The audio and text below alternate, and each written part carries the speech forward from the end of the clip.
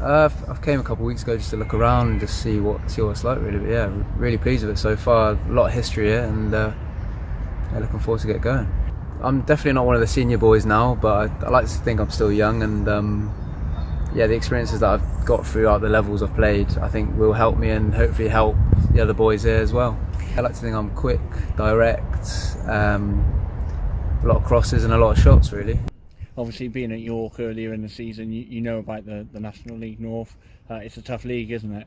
Yeah, I think it's it's quite a physical league. I think the teams that play good football will better themselves in this league. I think that's what uh, Hereford are about, and I think that's what we can do this season. And you never know what could happen. And the atmosphere here, I think, it's probably going to be one of the best in the league, maybe in the league above as well.